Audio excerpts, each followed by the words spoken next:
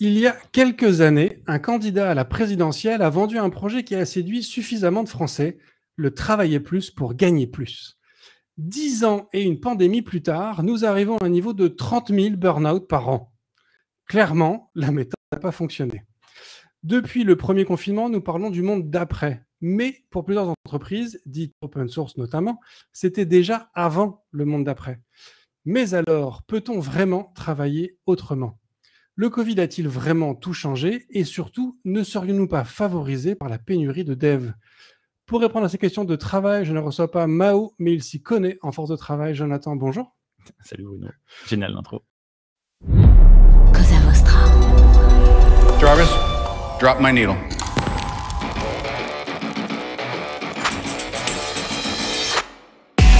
Bonjour, je suis Bruno Soulez, je suis un dev DEV pour différents, extraordinaires et visionnaires.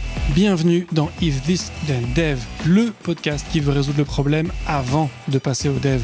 Chaque semaine, je recevrai un expert pour décoder un sujet ou une tendance de notre formidable métier d'artisan du numérique. Sans en faire un tuto, nous parlerons d'une techno ou de notre quotidien de dev.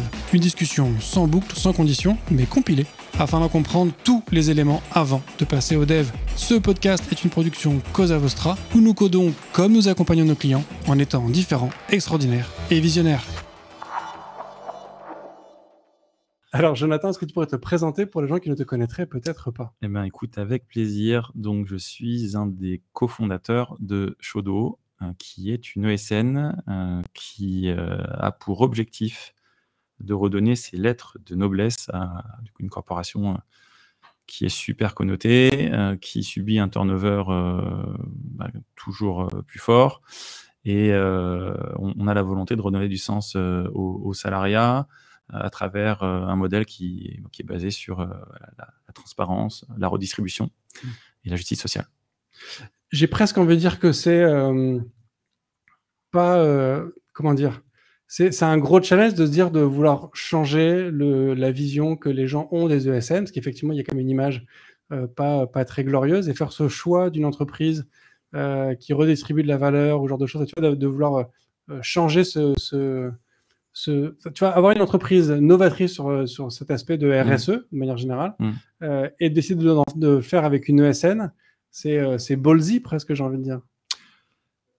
Ouais, enfin, on peut le voir comme ça. Moi, je en fait, je pense qu'il n'y a pas un jour où je me dis pas qu'on est des privilégiés, incroyables d'évoluer dans la tech. Euh, enfin, moi, c'est mon cas et ça m'intéresserait de savoir, euh, euh, d'avoir le feedback des autres acteurs de de la tech. Mais moi, je me suis retrouvé là-dedans, je pense, un peu par hasard et un peu par hasard tu te retrouves dans un secteur qui connaît pas la crise, euh, qui est en pleine euh, croissance. on parle de révolution euh, digitale. Enfin, c'est sincèrement, je, suis peut-être, je, suis optimiste, hein, mais, mais je vois pas ce qui peut, on va dire, renverser le secteur, le, faire sombrer dans la crise. Ou alors, c'est-à-dire qu'il y en aura beaucoup d'autres qui iraient mal. Mais, et donc, du coup, j'ai presque envie de dire, à partir du moment où tu as la chance d'être dans un secteur qui va aussi bien, bah, quelque part, ça, ça, ça, nous honore, ça nous oblige à, essayer de porter bah, l'innovation sociale, le, progrès social, parce qu'on en a les moyens, et parce qu'en fait, si nous, on ne le fait pas, bah, personne ne le fera. Mmh. Oui, parce qu'il y a effectivement il y a une, il y a une abondance de moyens quand même, effectivement, dans, dans ces, dans ces milieux-là. Euh, et c'est vrai que du coup, il y a besoin d'être euh, un peu le, fer de lance de, ces, de, ces, différents sujets. Toi, du coup, tu as lancé Shodo euh, il y a combien de temps? On a créé Shodo en 2019, donc euh, un an avant la pandémie, mais qui a été un, superbe crash test euh, pour, mmh. euh, pour le modèle, puisque en fait au final 2020 bah, se retrouve être notre, enfin à date notre, meilleure année en termes de, développement. Je vais employer le terme croissance, j'emploie avec précaution, mais, mais ça a été notre, notre plus belle année de croissance. on, a traversé 2020 sans faire appel euh, au chômage partiel. Euh, euh, et, du coup, ça, valide, ça valide le, modèle, hein, puisque on, fait de la croissance en termes de, clients, on fait de la croissance en termes de, recrutement, puisque là où nos concurrents bah, étaient en sommeil, nous, on était en activité. Enfin, non, c'est ça fait trois ans qu'on existe, on est une cinquantaine aujourd'hui, on est présent sur, sur Nantes depuis, depuis un an, ils ont, ils ont une petite quinzaine de personnes déjà, on a une petite cinquantaine sur Paris, on a d'autres projets, mais, mais on ne fait pas dans, dans une optique d'expansion sauvage parce qu'on veut devenir une licorne, on le fait parce que parce qu'en fait, on considère que c'est cool euh, de faire profiter de ce, de, ce modèle à, des gens qui, ont, qui en ont profil. On considère que c'est important que ce modèle puisse avoir de la force, avoir, avoir, avoir corps. Euh, et par du principe que voilà, quand, quand Chaudot euh, s'étend, Chaudot s'entend. Donc voilà. Et donc ce, ce fameux monde d'après dont on a beaucoup parlé pendant ces, ces, différents confinements qu'on a, qu'on a connus l'année dernière mmh. et avant. Mmh toi, ce, monde d'après, il, existait déjà euh, avant le Covid, du coup. Euh, c'est quoi le, le, premier truc sur les. Qu'est-ce qui t'a amené à vouloir créer ça Et c'est quoi le premier truc que tu as voulu changer? Écoute, je, pense qu'il y, a une recherche de, sens. Euh, tu en parles dans ton introduction, tu t'évoques le, le burn-out, le, bore-out. À un moment donné, tu, te dis, mais euh, putain, je vais au turbin tous les jours. Mmh. Euh, je gagne très bien ma vie, c'est génial, mais je n'ai pas tout le temps le temps de dépenser euh, mon oseille. Et, et, en fait, je, ce que je fais n'a pas trop de sens. C'est-à-dire que je suis dans une structure, aussi géniale soit-elle, qui a un turnover qui est endémique, qu'on n'arrive pas à combler, ou en fait, fondamentalement, qu'on on fait, on fait pas tout ce qu'on pourrait, en fait, pour, pour essayer d'inverser de, la, la, la, courbe. Et donc, tu te dis, mais euh, ouais, enfin, quel sens de, quel est le sens de tout ça? Et, effectivement, euh, nous, le monde, le monde d'après, il a, il, a commencé, euh, il a commencé avant le, avant le Covid. On, voulait euh, remettre effectivement le, ce qu'on appelle maintenant la, QVT, qualité de vie au travail, le bien-être, etc. En fait, on voulait le remettre au sens de l'équation redonner euh, du sens au salariat, enfin ramener les gens euh, dans, dans, une forme de, collaboration, offrir finalement une alternative, si tu veux, au départ indépendant qui, dans notre, corps, dans notre corporation, est le, la tendance numéro un. C'est-à-dire qu'à un moment donné, les gens se disent que le salariat leur apporte plus grand-chose et que du coup, ils vont se mettre, ils vont se mettre à leur compte. et, et moi, j'ai pas, pas, pas, de sujet. Enfin, je veux dire, avec les gens qui considèrent que être à leur compte, être entrepreneur, euh, c'est le rêve de leur vie, et euh, eh ben, je leur dis bravo. en fait, faut le faire. Maintenant, euh, mon constat, c'est que je pense qu'il y a 70% de ces gens-là qui le font parce que c'est la moins mauvaise des formules. Mais, mais on, arrive à le montrer avec Shodo ou tous les autres acteurs qui nous emboîtent le pas, parce qu'il y a d'autres acteurs, c'est ça qui est très cool aussi, c'est qu'en fait, il y, a une demande et, les gens sont contents d'avoir ce choix-là. Il y a aussi il y a un point que tu évoques, c'est ce fait que euh, c'est vrai que dans le monde de la tech, souvent, on est, on est très vite très bien payé. Euh, même si on a l'impression de ne pas être suffisamment payé, euh, tu compares à la moyenne nationale déjà, on est quand même en général bien au-dessus. Et c'est vrai que cette, cette manne financière, ce, salaire qui tombe tous les mois, c'est une espèce d'enfermement pour certains où effectivement tu, tu, fais un taf qui est, qui est pas moins intéressant, mais tu as, ce confort en fait qui est, qui est apporté par, par, ton, par ton revenu régulier. Et mmh. j'avais appris il y a quelques, il y a quelques temps sais, on vend tout le temps les mérites de Google euh, qui, offre, euh, qui offre à manger, ou tu as le pressing dans les bureaux, mmh. euh, tu as la garde, tu as, tout un tas de choses. Mmh. Même pour certains, le, certains niveaux, tu as une femme de ménage qui va chez toi, ou tu as du personnel de ménage pardon, qui va chez toi pour nettoyer ton, ton appartement. En fait, si Google ils font ça, c'est parce qu'ils prennent des gens sortis d'école qui ont tout le temps vécu soit chez leurs parents, soit en mmh. résidence étudiante, qui du coup s'installent chez eux pour la première fois en, bossant chez Google. donc en fait, ils n'ont jamais appris à, à s'auto-gérer. Ouais. Et donc, en fait, tu es aussi enfermé chez eux parce que en fait, tu sais pas débrouiller tout seul. Et coup, le jour où tu quittes Google, bah, tu n'as plus tout ce, tout ce truc autour de toi. Euh, pour toi, ça, fait partie aussi de cette, euh, cette espèce de, de, je vais pas dire de cage, mais tu vois, de contexte qui a été créé par toute une économie jusque-là, en fait, pour euh, un petit peu bloquer les gens dans une notion productiviste. Alors, ouais, ouais ce, que, enfin, c'est super riche hein, ce que ce que ce que tu as abordé euh, pour pour essayer de, on a une heure hein, d'apporter une réponse. Ouais, mais c'est bordel dans ma tête, hein, donc il faut que j'arrive à te mettre ça un peu un peu carré. Non, mais tu as, deux choses. Euh, de toute façon, aujourd'hui, je pense que tu as quand même euh, as une vision on va dire, qui est très ancré, qui, qui, qui, est, qui, est, très libéral, qui est basé effectivement sur le, le, productivisme, sur l'optimisation de la création de valeur, qui, qui, existe. on en parlait en, intro sur voilà, qui va valoriser des modèles d'hypercroissance, les licornes, etc. etc. Et aujourd'hui, tu as quand même euh, une alternative qui commence à, émerger dans laquelle euh, on, commence à, rediscuter euh, un petit peu tout ça euh, pour justement mettre le bien-être au centre de, de, tout.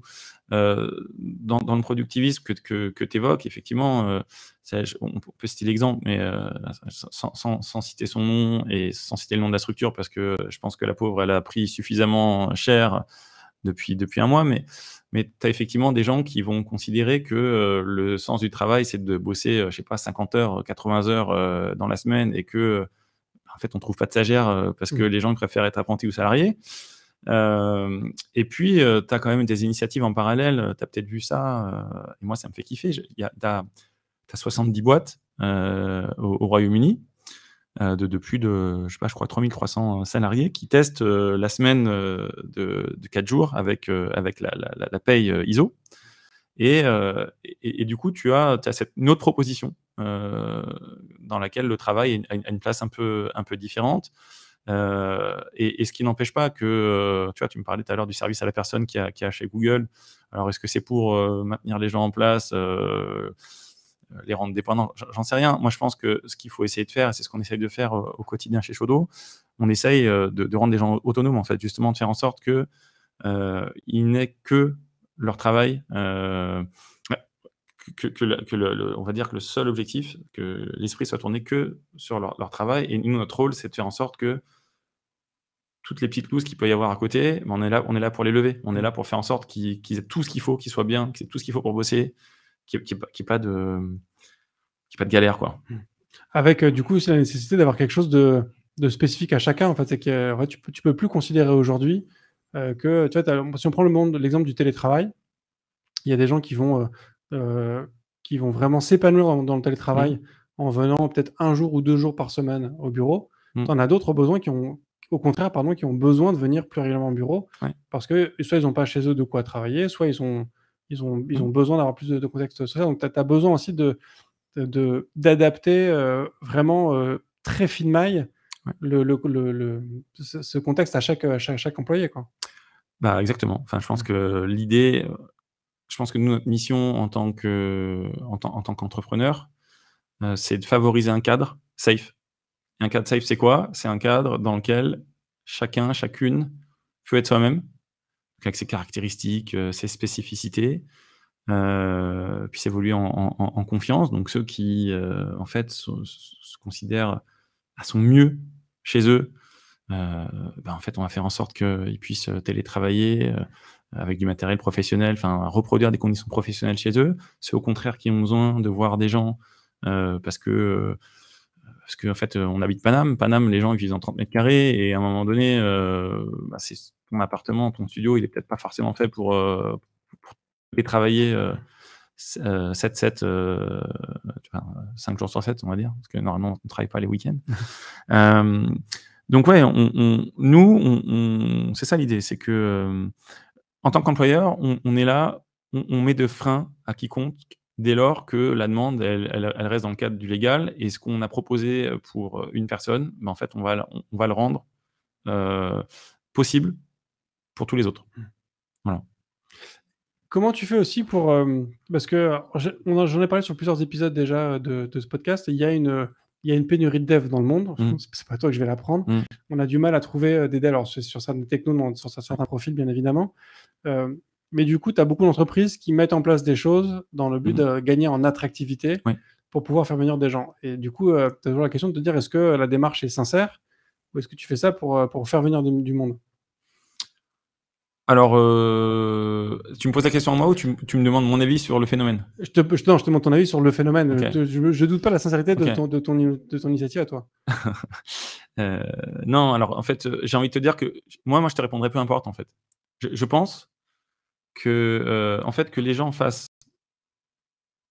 euh, les choses par, par conviction par pragmatisme, parce qu'en fait, ça marche, que ça permet d'attirer des gens, euh, de les fidéliser, etc.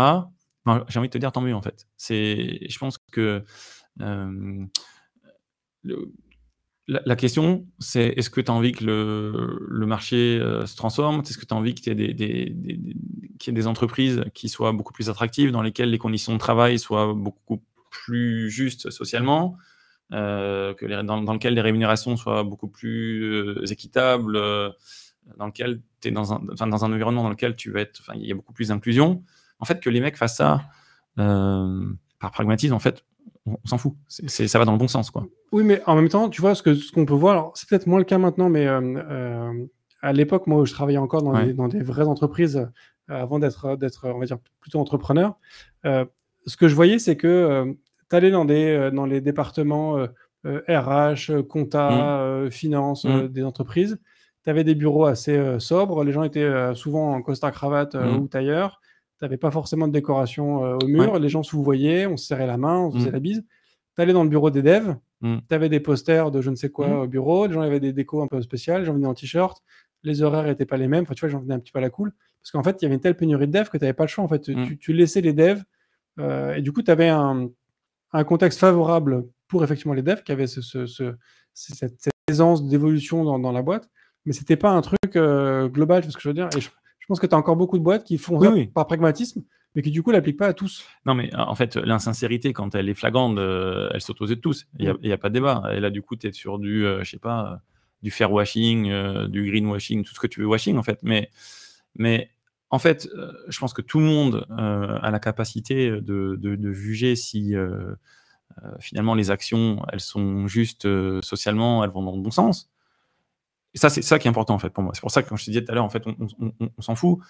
évidemment qu'il vaut mieux avoir des gens qui vont le faire par conviction, etc. Mais ce qui compte, c'est que ça soit bien fait. Et tant que c'est bien fait, bah, je pense que déjà, tu vois, il y, y, a des structures, euh, euh, il y a plein de structures euh, qui, qui, qui, évoluent sur des bases effectivement de, de redistribution, de transparence, etc sincèrement, je pense qu'on doit, on doit s'en réjouir. Euh, après, savoir si c'est fait par sincérité ou pas, on, s'en fout. J'ai le plaisir de, de, de, voir que euh, Accenture euh, est en train de mettre en place la, la, semaine de, de, 4 jours, financer une partie des, des, congés sabbatiques. En fait, c'est cool. Hmm. savoir si c'est sincère ou pas, en fait, c'est pas la question, chacun se fait son avis. Mais, mais l'important, c'est qu'en fait, tu as un marché qui commence à évoluer, qui va dans le bon sens. Et moi, mon propos, c'est de dire qu'en fait, on est dans la tech, la tech, c'est euh, en fait c'est un marché qui est en, croissance, dans lequel il y a des revenus qui sont euh, absolument euh, spectaculaires, et, donc on a les moyens d'opérer une redistribution qui profite à tout le monde en fait, avec des avancées qui peuvent être après, voir dans quelle mesure les avancées qu'on peut mettre en place peuvent être reproduites dans d'autres secteurs. Alors, je suis d'accord sur le fait que c'est cool de voir des grands acteurs comme Accenture bouger. Et en fait, euh, ce qu'on pourrait dire, c'est que euh, des Accenture bouge aujourd'hui sur ces sujets-là. Mmh. Parce qu'en fait, ils voient des structures peut-être euh, plus petites ou plus jeunes. C'est sûr, ça. Comme Shodo. Et du coup, tu vois, ça, ils, mmh. sont, ils ont plus le choix. Ils sont obligés mmh. de, changer grâce à ça. Donc, c'est pas. même au-delà du pragmatisme, en fait, c'est une question aussi de. de, de tu vois, en fait, tu avais un avantage concurrentiel face à Accenture qui, sont obligés de rattraper à un moment. Mais je pense que c'est tout le plaisir de, de la démarche. Nous, on est une entreprise on n'est pas un, parti politique. Par contre, euh, notre vision du travail, de la redistribution, c'est un parti pris qui devient euh, quelque part politique. Et c'est super cool d'avoir, euh, bah, te dire que tu es, scruté, tu es reproduit et que, en fait, tu as des grandes structures qui commencent à, à, mettre en place des mesures qui, en fait, qui vont dans le bon sens. Et c'est un kiff. Du coup, le premier truc euh, que tu as fait euh, chez Shodo, euh, différent des autres, des autres SN, c'était quoi le, de manière très. Oh, il y en a plein. Pêle-mêle, en fait, je pense que la transparence, la transparence dans les salaires, dans les marges et dans la gouvernance, c'est quelque chose qui, dans notre corporation, qui est super inédit. tu vas dire à tes clients combien tu gagnes.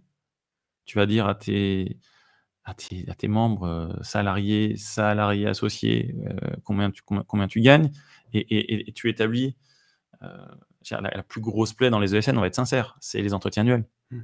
c'est l'entretien annuel. Pourquoi? Parce qu'en fait, tu te, tu te retrouves avec des gens qui sont fidélisés depuis X années, 7 ans, qui, qui se retrouvent à gagner 20% de moins que des gens qui viennent d'arriver, qui sont sans histoire dans la structure. Et, et nous, une des premières mesures qu'on a mises en place, euh, euh, c'est des rémunérations fixes basées sur des grilles. C'est-à-dire que chaque, chaque personne, quelle que soit son ancienneté, son genre, son histoire, ses handicap ou pas, a la même rémunération. Euh, et en fait, quand on a mis ça, euh, on, a mis ça en place, euh, on, a mis, on, a mis une grille qui est capée, qui est capée à 70 000 euros. Tu te dis, Ah, c'est super cool et tout, on va le mettre en place.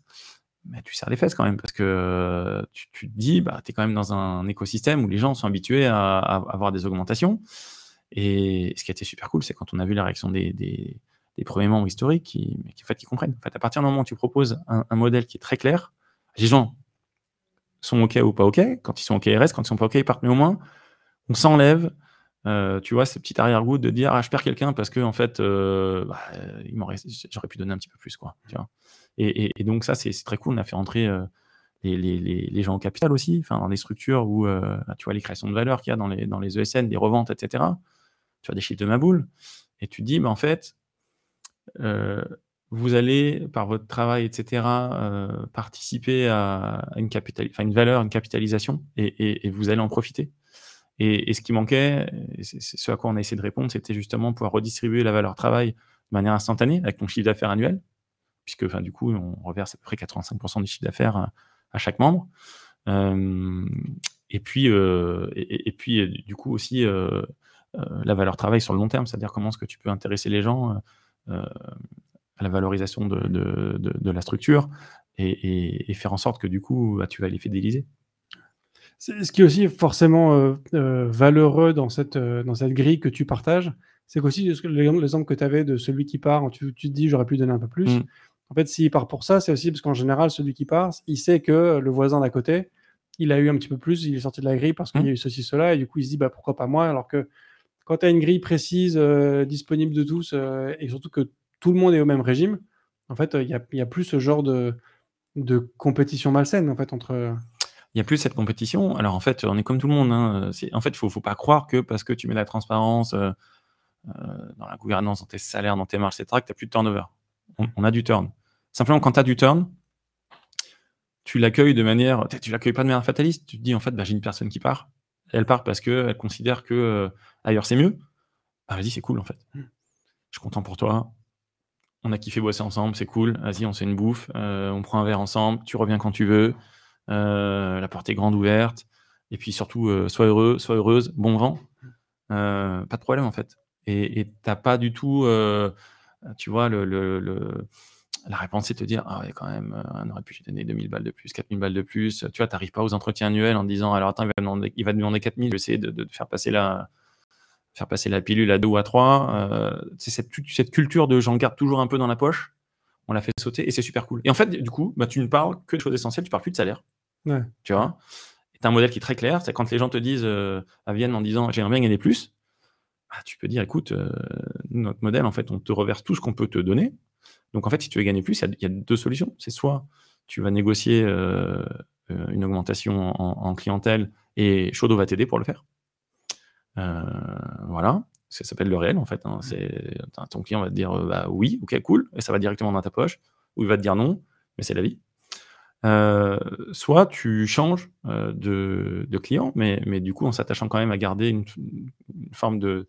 Bah, tu as le sens du service. Donc en Mm. fait, on n'est pas des mercenaires. C'est, tu vas pas aller te dire bah, change de client pour aller gratter 50 balles le jour. Euh, enfin, du moins, c'est ce qu'on essaye de ne de, de, pas inculquer. Mais moi, je suis très attaché, par exemple, parce que je trouve que ce- dans le modèle INDEP, il y, a- des choses assez cool. C'est que euh, les gens sont euh, responsables. En fait, ils savent que euh, à un moment donné, s'ils adoptent un comportement plutôt de, de, mercenaire, ben, à un moment donné, le monde est petit et ça va se savoir. Et, en fait, on essaye de donner les clés. C'est parti de. On est une entreprise libérée et, dans, l'entreprise libérée, une des valeurs, c'est de rendre les gens autonomes. On donne les clés à tous les gens chez nous pour devenir adepte. On leur apprend à, à négocier leurs honoraires. On leur apprend à, la mesure du possible euh, à gérer les conflits, euh, aller chercher euh, du feedback, on en parlait, chercher le feedback euh, client, chercher le feedback auprès de l'équipe, faire des déj, faire des petits déj, etc. Et, en fait, on part du principe qu'une fois qu'on leur a donné toutes les clés pour être indep et donc partir, ben, en fait, ils partiront certainement pas parce qu'en fait, ils sont heureux dans le, salariat. Est-ce que c'est un peu antinomique de dire que tu, tu aides tes employés à partir un jour? Non, j'aide les, gens de Shodo à être autonomes. Et pourquoi est-ce qu'on fait? Parce que euh, les gens qui vont être autonomes, mais qui restent parce qu'ils ont une communauté, ils ont des collègues, ils ont un service à la personne, ils ont des cotises, ils ont plein de choses. En fait, la charge euh, qui, t'enlève, euh, on, va dire, fait que tu n'as plus de goulot d'étranglement pardon, opérationnel et que toi, tu peux consacrer du temps à celles et ceux qui, bah, qui en ont plus besoin. Et, pour le coup, euh, on parle beaucoup d'inclusion dans la tech, tu as quand même des populations qui, sont, qui restent discriminées. c'est certainement plus dur pour une développeuse d'avoir le même TGM qu'un développeur. C'est certainement plus dur pour tout un tas de gens euh, d'arriver à, à, se mettre en avant. Euh, tu vois, on parlait tout à l'heure de dev en, euh, entrepreneur, le fou la poule, mais tu as plein de devs qui, quand même, qui souffrent du, du syndrome de l'imposteur, qu'il faut accompagner, qu'il faut aider à faire grandir. Et c'est ça notre rôle, en fait. Du coup, justement, quand tu dis que si tu as un T constant qui arrive à augmenter son, son, TGM chez le client, ça va directement mmh. dans sa poche. Mmh. Mais tu as aussi cette notion de redistribution de mmh. la valeur. C'est-à-dire que est-ce que pour prendre un exemple qui est proche euh, d'un truc moi que je connais bien, moi je suis beaucoup la NFL. Euh, et la NFL, c'est une ligue de sport américain qui est entièrement fermée. Et ce qui est intéressant en NFL, c'est que tu as les équipes qui sont meilleures que d'autres, c'est des choses qui arrivent.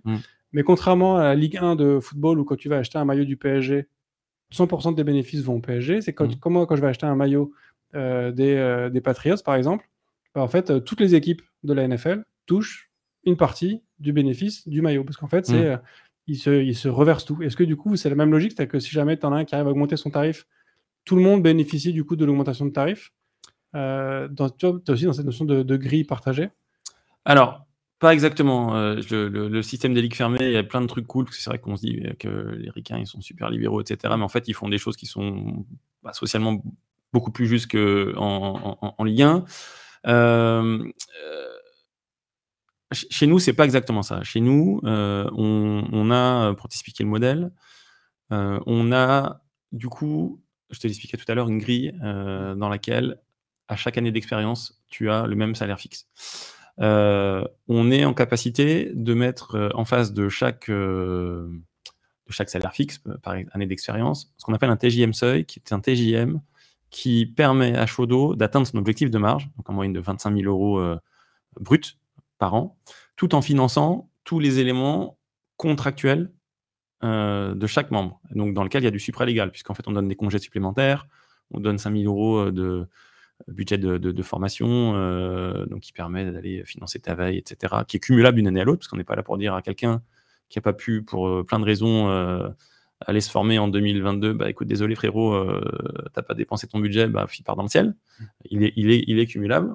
Les, gens peuvent s'en tirer 50% euh, chaque année en, rémunération.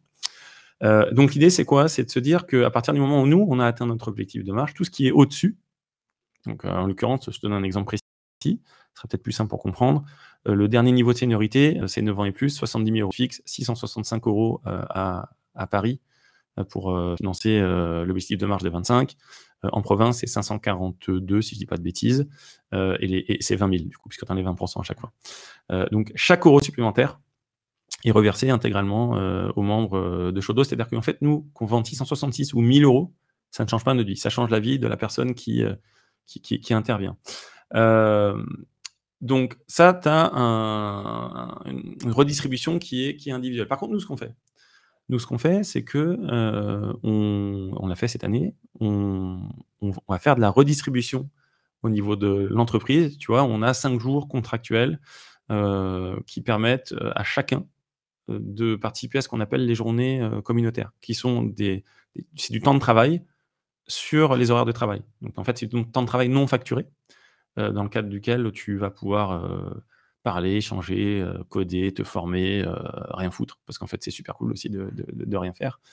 Euh, et, en fait, cinq jours, quand en fait on met une dizaine de dates dans l'année, en fait, on sait que, on va dire mécaniquement, tu as des gens qui ne pourront pas participer à, tous les événements. Et en fait, on considère que du coup, tu as une première forme de d'injustice sociale, parce que tu as des gens qui vont dégager suffisamment de marge sur leur mission pour pouvoir aller euh, se déstaffer, et d'autres non. Donc en fait, on a redistribué euh, cinq jours supplémentaires à toutes celles et ceux euh, qui, qui ne pouvaient pas participer à, à, à ce jour-là. Donc en fait, donc en fait tout ça pour t'expliquer avec cette énorme digression, que, pardon, que on redistribue au niveau de la collectivité et on a un modèle qui redistribue aussi au niveau de l'individu.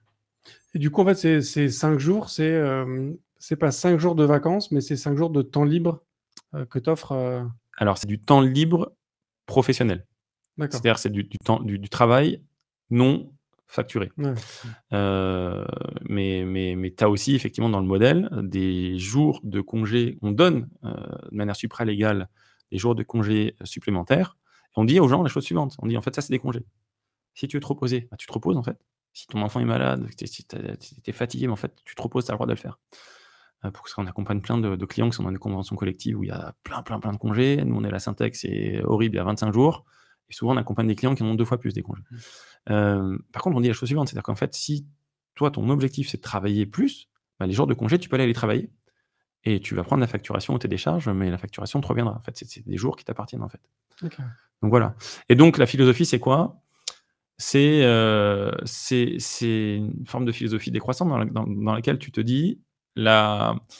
tu acceptes de gagner moins que ce que tu pourrais, puisque tu vas du coup redistribuer de la valeur pour que les gens puissent kiffer davantage leur vie au travail et leur vie tout court en fait. Et c'est ça l'idée, c'est qu'on essaye justement de remettre la notion de bien-être, d'équilibre vie pro, vie perso euh, au centre euh, de, de, de, de, de parce que euh, on est quand même la première génération, je trouve, où de manière assez systématique, tu as des gens partent en burn-out, qui partent en burn-out. Moi, je me souviens de, de, la génération de mes parents, ils étaient fidèles à leur boîte, ils restaient des dizaines, des, des dizaines et des dizaines d'années. Ça, c'était leur caractéristique. Bah, quelques années plus tard, la caractéristique, c'est que tu as des gens qui euh, pètent des plombs mmh. au travail. Euh, et on, on, on, doit apporter, voilà, parce qu'on on est dans la tech, on a les moyens de le faire, on doit apporter une alternative à ces gens-là en leur disant, OK, en fait, si ton projet, c'est de bosser 80 heures par semaine euh, pour aller faire une culbute, respect, vas-y, fais-le. Mais en fait, ça ne doit pas être que ça, la vie. Et donc, on, doit proposer une alternative et c'est ce qu'on essaie de faire. Après, la génération de nos parents, euh, certes, ils faisaient euh, quasiment leurs 42 années de cotisation dans la même entreprise, mmh. euh, mais ils avaient quand même aussi des phénomènes de burn-out. C'est juste que c'était pas du tout pris en charge. C'était pas du tout mmh. surveillé à l'époque. Et du coup, ouais. c'était aussi une, une, un environnement de société qui était, qui était pas le même. Quoi. Non, mais probablement, effectivement. Euh, et puis, euh, puis, je pense que tu as la libération de la parole. Je veux dire, mm. c'est quand même vachement, euh, vachement emmerdant quand tu dis à tout le monde que tu as fait un burn-out, quand euh, tu, tu, ne vois que sur les réseaux sociaux que des exemples de réussite incroyables. Toi, tu dis, mais en fait, je, je suis super nul. Et puis, en fait, je suis un burn-out. Et puis, ah oui, oui, moi, je suis d'accord avec toi. Et puis, la prise en compte aussi de la notion de santé mentale. Mm. La génération de nos parents, aller voir un psy, c'est que c'était, t'étais soit fou, enfin, euh, t'étais forcément malade, tu vois, c'était pas, mmh. euh, c'était pas quelque chose de, de t'étais faible presque si t'allais voir un psy. Aujourd'hui, on ouais. sait que la santé mentale, c'est un truc important, qu'il faut, faut, faut être vigilant. Et parfois, tu vas voir un psy, euh, pas uniquement parce que t'es es fou ou, juste faible, c'est juste que parfois, tu as besoin de, de, de, ce truc-là pour, pour avancer et, et, aller mieux. Quoi. Mais c'est ça, en fait, moi je suis tombé sur une, une citation de, de, plus tard qui m'a fait, fait tilter. Euh, ça dit, euh, il faut il faut, faut, enfin, faut pas seulement euh, vivre, mais il faut, enfin, faut exister, euh, ou peut-être l'inverse, je ne sais plus, parce que j'ai une mémoire de, une mémoire de merde, mais, mais, mais en fait, c'est ça le, le, le, l'enjeu, je trouve, aujourd'hui, c'est de, de, pouvoir euh, apporter autre chose que le choix d'être au turbin comme un malade et d'y rester, parce qu'en fait, tu gagnes bien ta vie, mais tu, tu, ah, tu nourris tu nourris un cercle qui est, qui est, qui est juste euh, super vicieux. Euh, il faut vivre et non pas seulement exister. Tu vois, je, mmh. je me souvenir. Euh, ce, qui, ce qui, je trouve, est assez fascinant dans ce, cette approche que tu as avec, avec Shodo, c'est que une ESN, euh, en gros, tu n'y es jamais quand tu es conscient ouais. d'une ESN. Et alors, du coup, en général, on y va parce qu'il euh, y a des rêves clients, il y a des projets qui sont intéressants. Mmh. Et toi, ce que tu essayes, c'est de, de créer un attachement, du coup, à, à, ton ESN. Et tu n'es pas là uniquement pour aller parce que du coup, on te promet une, une mission chez Orange, chez Peugeot ouais. ou je ne sais quoi. Il y a aussi une volonté d'adhérer à un projet, un projet commun. Bah, c'est exactement ça. Je pense que le rôle d'une entreprise aujourd'hui, c'est euh, de se déterminer un, un, un avenir euh, en commun, sans rendre des, des punchlines politiques, mais c'est ça en fait. C'est à un moment donné, c'est euh, je veux être avec des gens euh, de qui je partage les valeurs, avec lesquels je suis fier de bosser, que, que j'aime bien. Parfois, je les aime pas, mais en fait, je suis quand même fier de bosser avec eux, même si je les aime pas. Euh, et, euh, et, on partage une même vision du boulot, de la redistribution de la boîte. Et du coup, qu'est-ce qu'on fait? En fait, on a des gens. Alors nous, quand même, je te dis, on a quand même un modèle avec des, des jours communautaires, donc on aime bien quand même que l'essence de Chodo, c'est quand même de profiter de ses collègues. Maintenant, les gens qui ont pas tant que ça envie de venir, bah, quelque part, euh, on, respecte.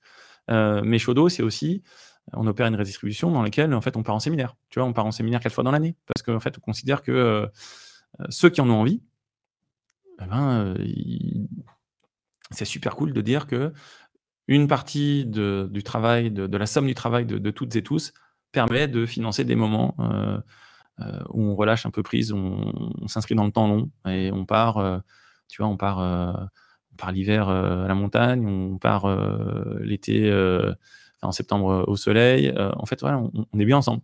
Et, celles et ceux qui ont envie de venir, bah, peuvent venir. Et puis en fait, bah, celles et ceux qui veulent pas venir, c'est pas grave. En fait, c'est pas obligatoire. On ne fait rien d'obligatoire en dehors des horaires de boulot.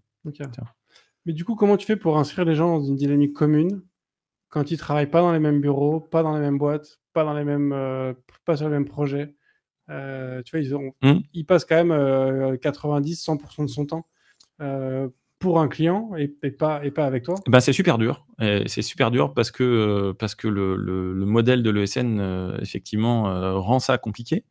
Mais on s'y attache de différentes manières. déjà, tu vois, nous, on a pris des locaux dans lesquels nous, enfin, le, staff, il n'est pas forcément tout le temps. Mais les locaux sont accessibles 5 jours sur 7, n'importe quand. Et en fait, on fait en sorte que les gens se sentent bien dans les locaux. Tu as des bureaux modulables, etc.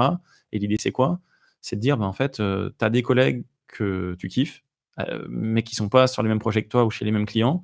Mais on leur donne la possibilité de se dire, bah, attends, viens, on va, on va télétravailler ensemble chez Shodo et on fume nos clopes ensemble, on prend nos pauses ensemble et, et, on, on, on, est ensemble.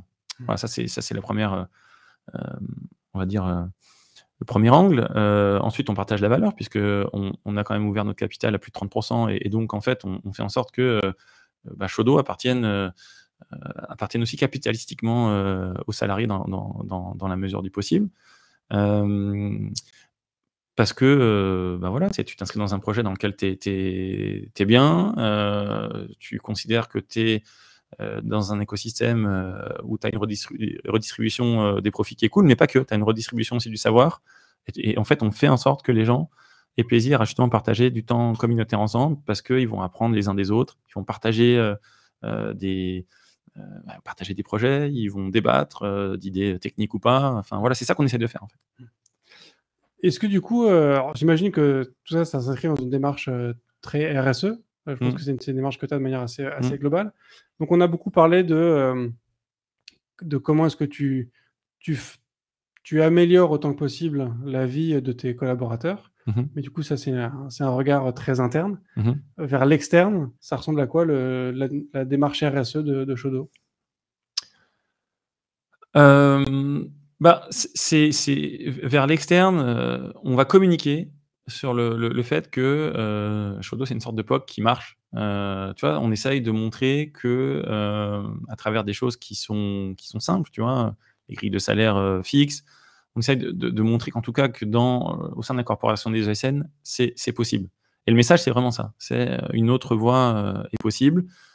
au sein des ESN, on, sait que c'est plus facile de le faire quand tu as une refacturation, comme c'est le cas quand tu es en SS2I slash ESN. C'est peut-être beaucoup plus dur dans d'autres métiers, mais par contre, la transparence salariale, pour moi, c'est quelque chose qui pourrait se mettre, qui pourrait s'appliquer dans plein d'autres secteurs.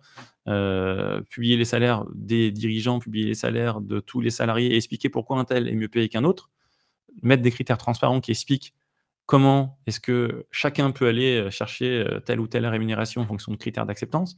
Ça, on doit pouvoir le faire.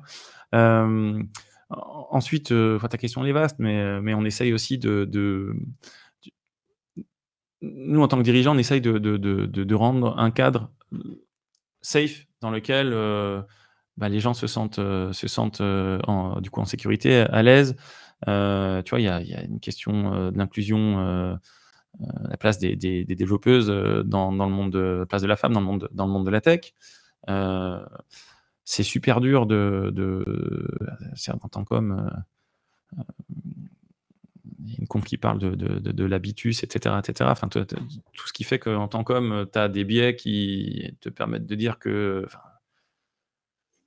tu, tu, tu, vas nier ça, ce, cet état de fait, mais, mais, mais on essaie justement de, donner euh, bah, des moyens euh, à, des femmes pour euh, bah, justement réfléchir sur ces sujets-là, faire émerger euh, des cercles de, sororité. Voilà, on, essaye de, montrer que c'est possible euh, et de, de, montrer que ça marche.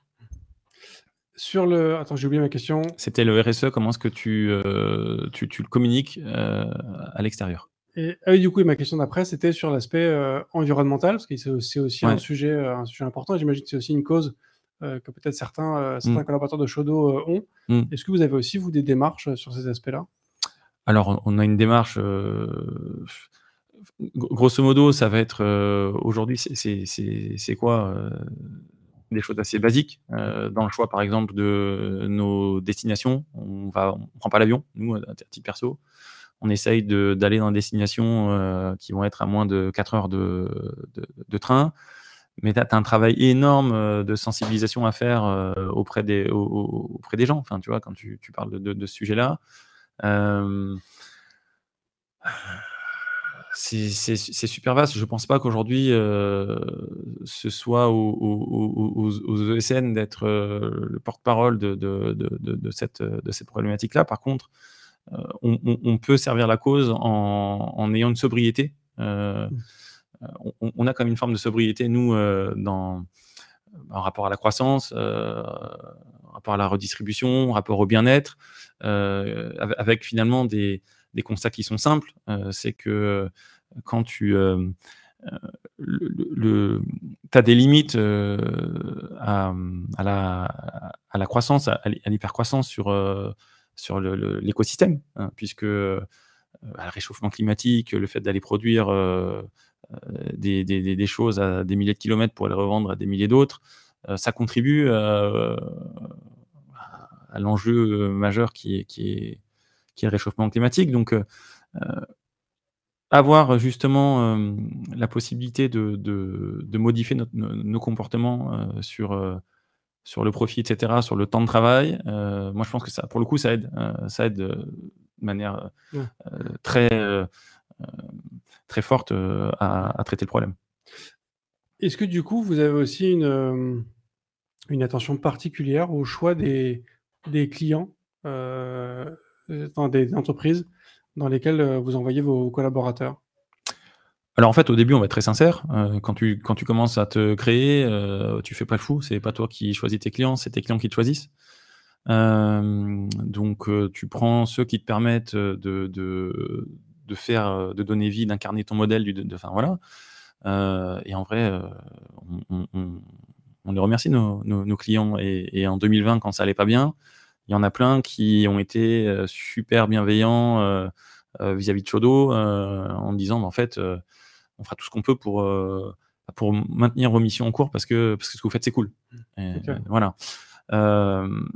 Nous, ce qu'on a fait, si tu veux, en rendant euh, notre marge euh, transparente, en disant en fait, quoi qu'il arrive, Shodo prendra 25 000 euros, c'est qu'on est sorti de la zone grise où on va dire, ah, quand même, j'aimerais mieux que Bruno, que tu ailles bosser, je cite pas le nom, mais chez le client A, parce que les marges, elles sont quand même, les TGM sont plus importants que chez le client B, où, les TGM sont, sont, un peu inférieurs. En fait, on va te laisser le choix. On va te laisser le choix d'aller d'aller travailler là où tu l'entends. Euh, et, surtout, le message euh, induit, c'est que tous les projets professionnels se valent.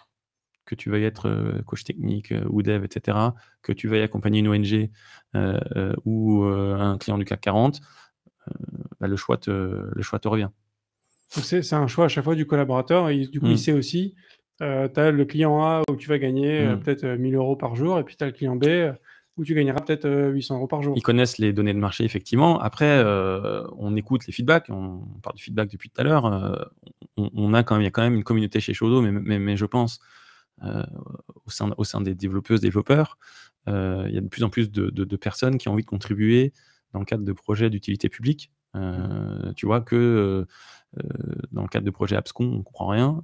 Et, et, donc, on écoute ça. On essaye de rendre possible, du coup, des collaborations dans des secteurs qui vont bah, traiter de, de l'énergie, des transports, des choses concrètes, en fait.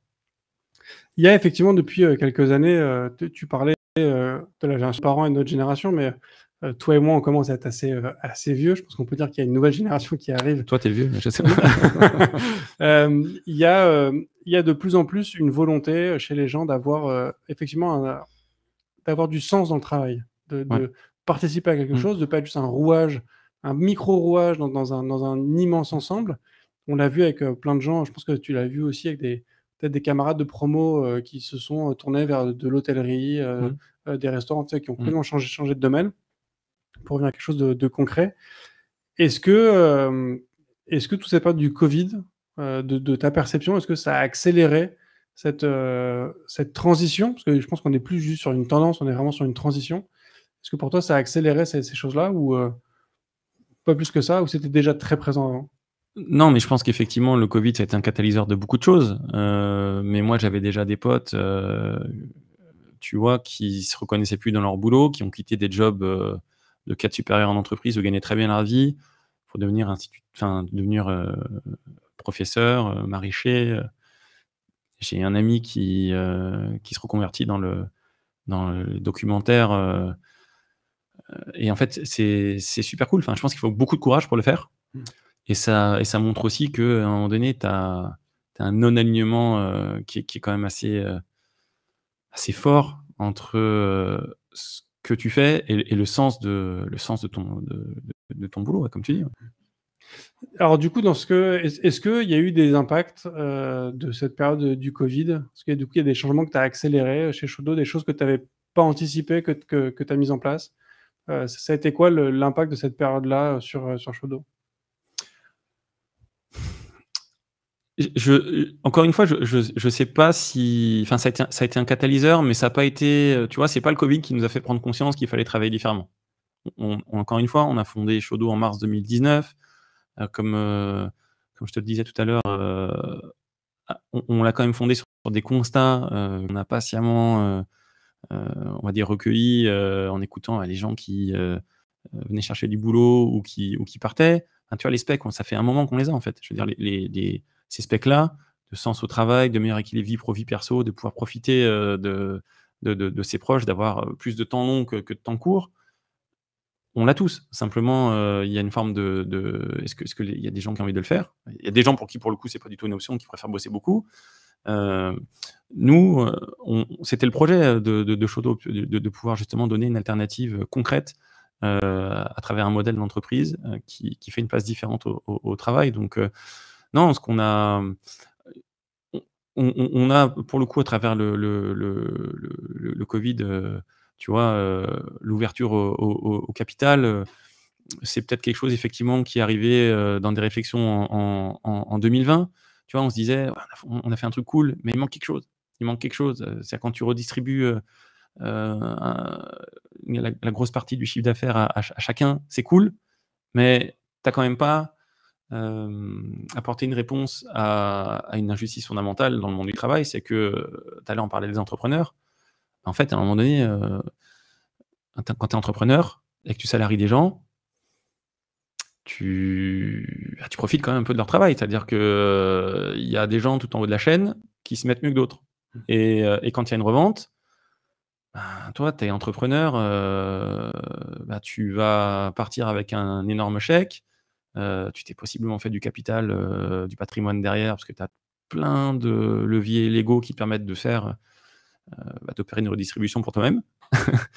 et, et, ça, effectivement, on voulait, on voulait faire autre chose. Quoi. comment ça se passe le télétravail en ESN parce que j'entends qu'il y a des trucs très différents. Mmh. Est-ce qu'il y a une tendance qui, qui se dégage? Tu vois, Les gens sont plutôt du coup chez les clients, surtout en télétravail Écoute, euh, moi j'ai plutôt le sentiment que, que les lignes bougent dans le bon sens, puisque euh, aujourd'hui, je dirais que tu as euh, la plupart des clients qui ont une tolérance au télétravail de l'ordre de 50% du temps. Tu vois, de mon point de vue, rares sont les clients qui commencent à dire bon, écoutez, les gars, c'était cool le télétravail, maintenant on va retourner, euh, tout le monde va se retrouver au siège parce qu'il faut se voir pour mieux travailler. Tu vois, des, arguments un peu à la papa, il n'y en, a pas trop. Et je trouve ça je trouve ça très bien. Euh, nous, en fait, euh, donc ça, c'est la limite aussi en tant que SN, c'est que, à titre, à titre perso, évidemment qu'on est pro, on, est pour le télétravail. Mais effectivement, tu, as beau être pour le télétravail, si, as, tous tes clients sont contre, c'est plus compliqué. Alors du coup, on essaye d'évoluer vers, vers, des modèles qui nous permettent de collaborer différemment. C'est-à-dire, euh, là, on, lance une, filiale euh, qui s'appelle euh, Shodo Studio, dont, l'objectif est justement de pouvoir récupérer des projets en interne. Du coup, bah, pouvoir travailler non seulement avec nos, nos, process, notre culture technique, mais aussi notre culture d'entreprise. Donc, on pourra, on travailler en collaborant en télétravail quand on pourra, etc. Mais, mais en tout cas, non, ça va dans le bon sens, moi, je pense. Ça va dans le bon sens. J'ai un ami qui est parti s'installer en Allemagne, euh, qui bosse avec un grand groupe euh, de pharma. Mmh ils ont fait un choix que je trouve intéressant, c'est que du coup, depuis le Covid, ils ont réalisé en fait que le télétravail, ça fonctionnait bien. Mmh. Et du coup, ils ont dit à tous les prestataires, maintenant que vous êtes euh, full remote, vous travaillez de chez vous, mmh. et si vous voulez venir bosser avec les équipes de, de, la boîte en question, bah, on, vous, on vous loue un bureau la journée. Ouais, et du coup, le SN paye en fait la présence sur les bureaux. Bah, non, mais c'est cool. Mmh. ça fait partie, moi, je trouve, de. Euh, tu vois, tout à l'heure, on parlait de, d'entreprise libérée, enfin, de rendre les gens autonomes, de faire en sorte que euh, tu facilites la vie des gens, euh, tu, fais en sorte qu'ils n'aient à se concentrer que sur leur métier de base. Ça, c'est, cool. Nous, on a fait un peu la même chose. On a, en fait, chaque, membre de Shodo dispose de, la CB de la boîte. et, en gros, l'idée, c'est que si tu dois engager un frais professionnel, euh, et ben en fait, tu vas, le faire sans avancer euh, euh, de ton propre argent personnel. Bah, le, concept de la note de frais, c'est quand même quelque part que tu, payes pour travailler. On te rembourse d'accord derrière, mais, tu, sors de, tu sors ta trésor. Et nous, on que c'est pas, pas cool dans le symbole. Donc, en fait, on, fait confiance aux gens. Bah, pour qu'ils arrivent à estimer, il faut que ça soit légal, hein, parce qu'on est sensibilise à ce que à ce qu'accepte ou pas. Mais à partir du moment où c'est légal, et que tu dois engager un frais professionnel, mais en fait, vas-y, engage le frais professionnel. En fait, on, ne va pas aller, euh, on regarder ce que, ce que tu fais. On part du principe que tu es suffisamment intelligent pour, euh, si tu dois prendre un billet, bah, tu vas prendre le billet de 200 plutôt que celui de 400. Euh, en fait, les gens sont intelligents. Il n'y a, pas, y a, y a, pas de sujet là-dessus. Ouais. Puis c'est aussi une démarche d'adhésion globale à un projet. En fait, on faisait tous. ouais. C'est une espèce de, de, philosophie globale que vous partagez tous. Quoi. Ouais, et puis après, les gens disent Ouais, mais, mais s'il y a des abus, etc. Mais déjà, des abus, il y, en a, il y, en a très peu. Et puis en fait, il y a des abus tu as le droit du travail qui est là quand même, mmh. peut-être tu disposes de plein de choses pour, euh, bah, pour les corriger.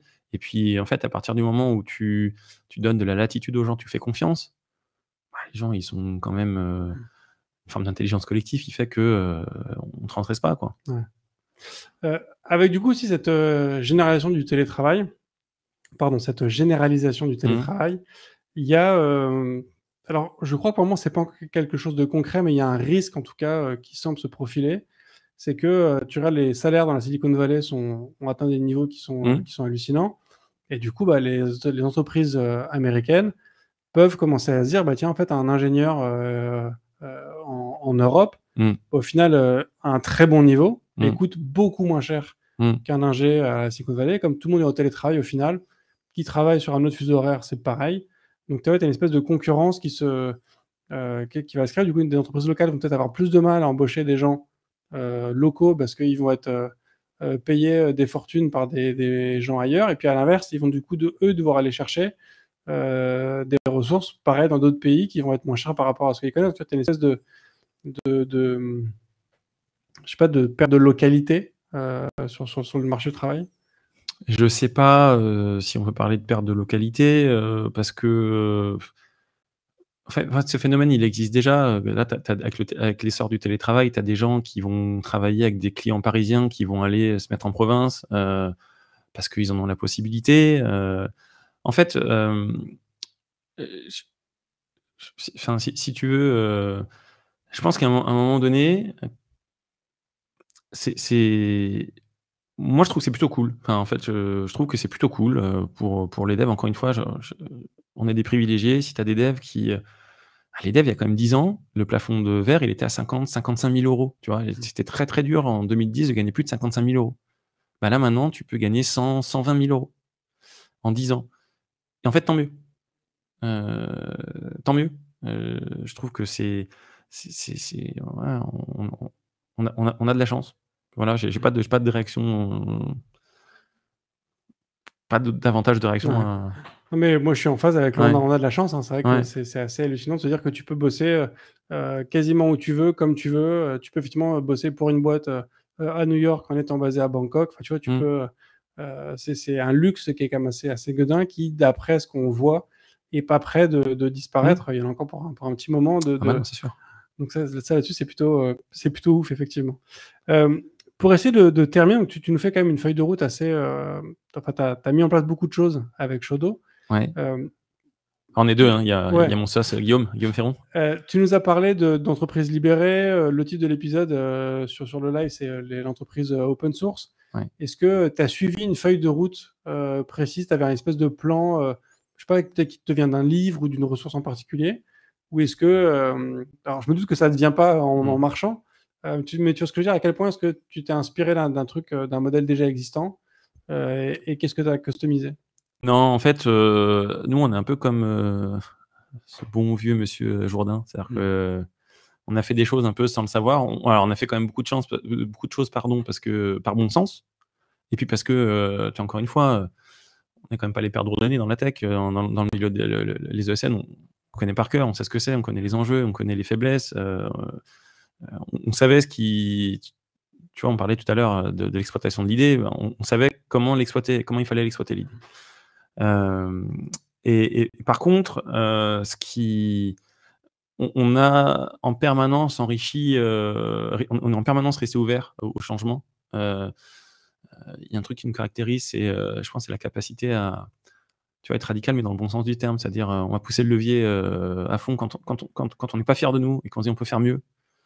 Ben, en fait, on va pousser le, levier de, euh, tu vois, euh, des choses assez simples, mais, euh, mais quand on, quand on, nous, on a, on, a capé nos REM, enfin, on a, on, a, on a encadré nos REM, une fourchette de mémoire, c'est trois fois la plus petite et deux fois la médiane. En fait, on le fait parce qu'on est convaincu que c'est cool, on est convaincu que ça améliore le, le, le, le- dialogue social, mais en fait, il y a déjà des gens qui l'ont fait. tu vois, quand on parle de, d'entreprises libérées, effectivement, il y a plein, plein d'écrits euh, qui, euh, de littérature à disposition qu'on n'avait pas euh, lu euh, en profondeur. Après, moi, à titre perso, je suis un fan de politique. C'est fait partie, c'est un sujet. euh, je ne peux pas t'expliquer pourquoi, mais ça me nourrit. Donc, je, suis obligé de lire euh, ce qui se passe, comprendre euh, euh, bah, comment, on- nous gouverne, euh, quels sont les courants de pensée. euh, et, tu vois plein de choses euh, euh, qui, sont, qui sont cool, qui sont, qui sont exploitables. euh, euh, tu vois, on, parle de, de- décroissance, c'est un truc qui fait flipper tout le monde. Euh, mais je trouve que ça dépend comment on, comment on en parle. Euh, Enfin, bref, tout ça pour te dire que non, euh, on n'avait pas de feuille de route, euh, euh, dans le sens où on n'est pas arrivé euh, avec un projet super ficelé en 20 étapes. Euh, on, avait quand même des, idées, on savait où on allait, on avait déjà euh, en tête euh, la nécessité de mettre quelque chose de, transparent, de redistributif, de plus juste socialement, ça on savait déjà. Mais c'est en discutant avec les gens, c'est en se challengeant nous-mêmes, c'est en n'étant pas d'accord, parce qu'en fait, on a une particularité, Guillaume, c'est qu'on est, bah, n'est pas tout le temps d'accord en fait. Et, c'est super cool parce que dans- si tu veux, quand tu n'es pas d'accord mais que tu sais communiquer, tu arrives toujours à, à faire émerger un compromis qui est vraiment meilleur pour la boîte, et qui te fait aller plus loin, euh, qui te prend conscience de, des biais que tu peux avoir, qui te donne le courage d'aller euh, justement euh, aller au fond des choses. Mm. Et, et- et c'est ça qu'on a fait. Donc c'est un, bon binôme que vous formez du coup. euh. Ouais, c'est cool. Ouais. Ouais, c'est cool. Est-ce que du coup, quand vous lisez euh, ces choses-là sur l'entreprise euh, libérée, euh, Ouais. l'entreprise open source, ce genre de choses, est-ce que vous vous reconnaissez dans ces modèles-là ou est-ce que pour toi, il y a soit des choses euh, où vous considérez que vous avez encore du chemin à faire ou vous considérez que c'est pas une philosophie à laquelle vous adhérez?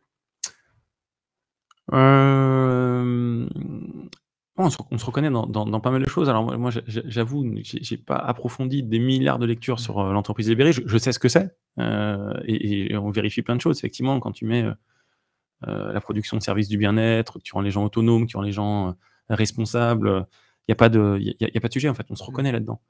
Euh, mais, euh, mais je pense que ce qui, ce qui, ce qui nous, nous, nous, nous drive, l'idée, l'idée clé, c'est vraiment, tu vois, si je dois te le résumer, euh, c'est vraiment être en capacité de, de présenter une forme de réussite alternative qui est plutôt basée sur, euh, qui, est basée sur le, kiff, quoi. En fait, on a envie de dire, kiffez, vous allez réussir.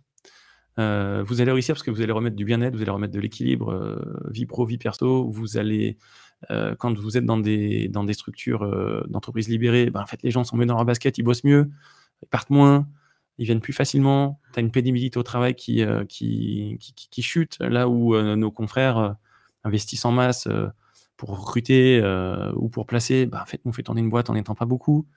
Euh, et ça, c'est cool. Ouais. Ça, c'est super cool. Tu, tu, te remets dans le temps long. Euh, profite de la vie. Et ça, c'est énorme. Est-ce que, du coup, il y a une, une ambition que les gens fassent euh, euh, de nouveau toutes leurs années de cotisation chez Shodo? Ben, en fait, on a envie de dire que. Enfin, s'ils ont envie de le faire, ben, qu'ils qu'ils le fassent. Mm. Quelqu'un qui part parce qu'il considère que le enfin, l'herbe est plus verte ailleurs, parce qu'il est plus heureux, mais j'ai envie de lui dire, mais super, je suis super content pour toi, euh, bon vent, euh, merci. Merci pour ce que tu nous as apporté, etc. Mais ceux qui ont envie de rester ad vitam aeternam, mais en fait, on, on- on- notre travail, c'est de faire émerger un cadre dans lequel, euh, effectivement, ils se sentent suffisamment safe pour le faire. Et, euh, et c'est important, oui. Du coup, euh, l'avenir, euh, c'est quoi les, les prochains grands chantiers que vous avez euh, Je sais pas, on peut parler de peut-être la, semaine de 4 jours, euh, vacances illimitées. Est-ce qu'il y, a- des projets comme ça de, Alors, les, projets d'avenir, nous, c'est euh, de se développer en, en- filiale. Donc, je ne sais pas si je t'ai expliqué, mais on, a, on a un système dans, dans le cadre duquel, en fait, on crée des filiales qui sont des SAS, au sein desquelles la maison mère Chaudot, euh, une personne morale, euh, est présidente. Et en fait, on fait monter des mandataires qui sont euh, majoritairement euh, des techs euh, et qui permettent de reproduire le modèle de Chaudot donc localement à Nantes, peut-être un jour à Lille, peut-être un jour à Bordeaux, peut-être un jour à, à Lyon, à Marseille, que sais-je. Euh, partout où il y aura un marché, et il y aura des bonnes développeuses, des bons développeurs, c'est-à-dire certainement partout. Euh, et et l'idée, c'est euh, bah, justement de, de- de permettre à travers ces filiales d'intégrer encore plus de gens dans le modèle, de donner plus de visibilité au modèle, euh, de montrer que ça marche, euh, de, de faire en sorte qu'il y ait d'autres acteurs qui se disent euh, Ah, putain, mais en fait, Choto, c'est cool, ça marche. euh, euh, soit c'est à fond dans mes convictions à faire pareil, soit c'est pas trop dans mes convictions, mais en fait, ça marche. Et du coup, par pragmatisme, je le fais. Et moi, ça me va très bien, encore une fois. Donc, euh, l'idée, c'est ça. C'est on, on a des projets dans ce sens-là. Par contre, euh, ce sont pas des projets qui sont guidés par. euh, on n'en a pas besoin, en fait. C'est-à-dire Ok. que en fait, on, on se paye suffisamment. Aujourd'hui, euh, les salaires sont payés, euh, les charges fixes sont payées, euh, le- les, coûts, de fonctionnement sont payés, on met de l'argent de côté chaque année, Enfin, ça va. Mais, c'est plutôt ça les, projets. Et effectivement, à travers ça, et moi c'est ça qui m'excite, c'est comment est-ce que on peut se servir de Shodo pour incuber des, à des mesures qui sont socialement innovantes. euh, tu vois, on a mis en place il n'y a pas très longtemps euh, une mesure qui était, euh, qui était chère à, à mon sauce, qui était de dégager la PE, enfin, de, de- de- ne plus mettre de PE par défaut dans nos contrats. En fait, la loi t'oblige à en mettre une pour euh, toutes celles et ceux qui en ont envie, donc là, tu- on, on la met. Mais en fait, euh, on la met pas et c'est cool, parce que c'est vrai que ça précarise. Euh, tu as des gens qui sont euh, famille monoparentale, etc. Bah, en fait, t'oses pas changer de boulot, parce que, de, d'appart, parce que euh, bah, tu vois, tu, sais ce que tu as, mais tu sais pas si tu pourras en avoir d'autres. Enfin, bref, tu as plein de choses. Euh, comme ça, euh, la semaine de 4 jours, euh, bah, why not? Mais pour ça, en fait, il faut qu'on opère à une redistri- redistribution de la marge, puisque en fait, quand tu veux travailler, tu parlais en intro de travailler plus pour gagner plus, bah, nous, on essaye de travailler moins pour gagner autant, voire travailler moins pour gagner plus. En fait, si tu veux faire ça, il faut que tu redistribues de la marge, puisqu'en fait, le, ton, temps, ton temps libre, il faut le payer. Mm. Et donc, euh, c'est aussi pour ça qu'on fait des filiales quelque part. C'est parce qu'on on a besoin d'aller recréer de la richesse pour la redistribuer euh, au, sein de, au sein de Shodo pour justement abaisser le temps de travail, euh, augmenter les rémunérations, euh, ou les deux en même temps. Enfin bref, euh, permettre aux gens euh, d'atteindre leur propre euh, définition du bonheur, enfin du kiff, euh, qui pour certains sera de travailler plus et d'avoir plus d'argent, d'autres de travailler beaucoup moins, de profiter des enfants, etc. etc. Top. Voilà.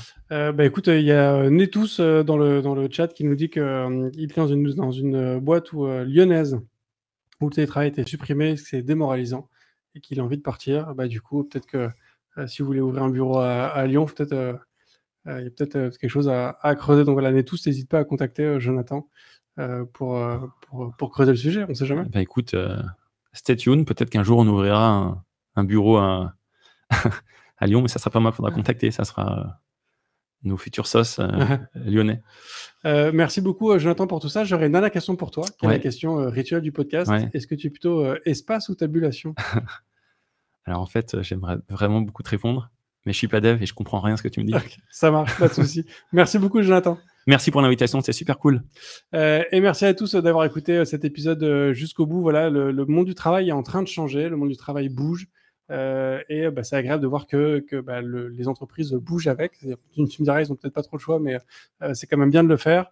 Voilà, si vous avez envie de bouger, bah, bougez. Comme l'a dit effectivement Jonathan, on a la chance d'avoir ce, luxe-là. Euh, faut pas, faut pas attendre d'être en burn-out ou en bore-out pour bouger. Euh, il, faut, il faut kiffer la vie. On a on fait un, on fait un métier formidable, on peut le faire partout. Donc, euh, donc profitez-en. Je vous remercie beaucoup aussi de continuer à partager ce podcast autour de vous. Je vous souhaite une excellente fin de semaine. Je vous dis à la semaine prochaine. Et d'ici là, codez bien. Merci d'avoir écouté cet épisode de If This Then Dev et merci à toute mon équipe de Cosa Vostra à la production de cet épisode. Merci aussi à Alan, Ada, Linus, Bill, Steve et Steve de nous avoir ramenés jusqu'ici. Si ce podcast vous a plu, committez-vous en vous abonnant, déployez-le autour de vous et vous pouvez aussi nous faire une petite code review en nous laissant 5 étoiles sur votre plateforme de podcast préférée. La conversation continue bien sûr avec vous sur Twitter, LinkedIn, Facebook, Instagram, chacun sa techno, ifthistanddev ou bibir, B-I-B-E-A-R. Vous retrouverez aussi tous nos épisodes sur notre site ifttd.io. Et enfin, si vous avez besoin d'une agence pour vous accompagner ou si vous souhaitez rejoindre une équipe tech passionnée et passionnante, écrivez-moi sur bruno.cosavostra.com. Merci à tous.